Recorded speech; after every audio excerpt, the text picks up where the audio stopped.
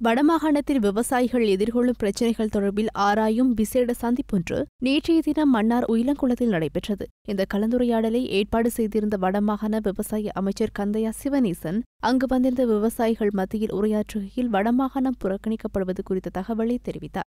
அம்பாந்தோட்டை வறட்சியான பிரதேசம் என்பதற்காக மஹிந்த ராஜபக்ச அவர்களுடைய காலத்தில் ஒன்றை வகுத்தார்கள் என்றால் மலைகளை குடைந்து அது கூடாக தண்ணீரை கொண்டு போய் அம்பாந்தோட்டையை பலப்படுத்தலாம் என்று அவர்கள் செயற்படுத்தி அது ஒரு முக்கா திட்டத்துக்கு வந்துவிட்டாலும் அங்கே பல பிரச்சனைகள் இப்போது ஏற்பட்டு கொண்டிருப்பது நீங்கள் பத்திரிகை வாசிகள் வாயிலாக அறிந்திருப்பீர்கள்.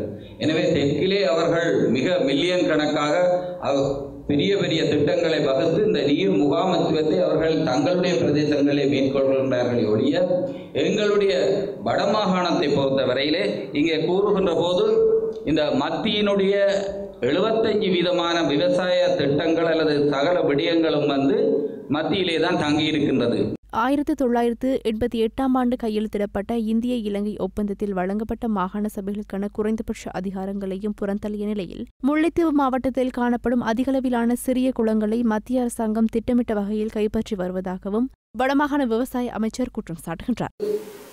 இலங்கை இந்திய ஒப்பந்தத்தில் அப்படி குறிப்பிடப்படவில்லை. ஆனால் அவர்கள் கால காலத்திலே தங்களுக்கு தேவையான விடயங்களை அவர்கள் உள்வாங்கி உள்வாங்கி சில விடயங்களை அதிலே இருந்து குறைத்து கொண்டு வந்து மாகாணத்தினுடைய அதிகாரங்களை குறைக்கின்ற விடயங்களிலே இவரையும் ஒன்றாக கருதப்படுகிறது. தங்களுடைய கட்டுப்பாட்டிலே வைத்திருக்க முடியும் என்பது அரசியல் ரீதியாக அவர்கள் போட்ட திட்டமாக கூட இருக்கலாம்.